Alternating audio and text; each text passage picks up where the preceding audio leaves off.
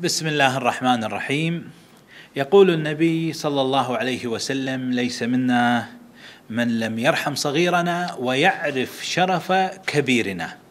لذلك تحركت اليوم على جملة من الاقتراحات المتعلقة بأحبابنا وأعمامنا وأخواننا الكرام والكبار كبار السن. من أبناء هذا الوطن العزيز. وفي البداية أود أن أنفي الإشاعة التي انتشرت في بعض وسائل الإعلام والمتعلقة بمنع كبار السن من السفر إلى خارج البلاد.